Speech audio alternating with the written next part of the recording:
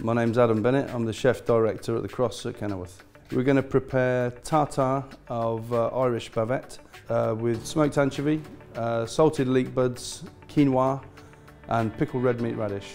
Uh, we use bavette, uh, it's got a great flavour. Um, it's traditionally a frying steak in France, uh, bavette and uh, frit. Um, it's one of the family of flank steaks. The great thing about the Irish bavette, it's very consistent. It's lovely to use a product that, we, that I've visited and seen the production of. Uh, and, and they've got a great consistency.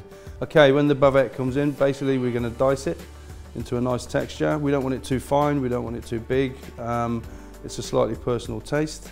Uh, then we're going to combine the other ingredients. So there'll be shallot, there'll be the salted leek buds, some salt and pepper.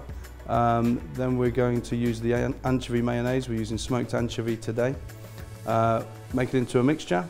With the garnish, we're going to use red meat radish and we're going to pickle that uh, in the pickle we're going to have a little bit of beetroot juice. This is going to add a bit of fruitiness to it. Within the dish that's going to give us a nice texture, a bit of crunch, a bit of freshness and a bit of acidity to balance everything out.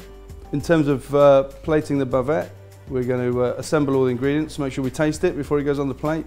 Uh, then we'll dress the, uh, the, the bavette mixture in the centre of the plate. We'll dress the radishes over the top and then we're going to finish with uh, some dots of the anchovy mayonnaise uh, some uh, peppery leaves, we're probably using stir, and rocket today. Uh, and then finish with the quinoa. The fried quinoa adds a great crunch to the dish.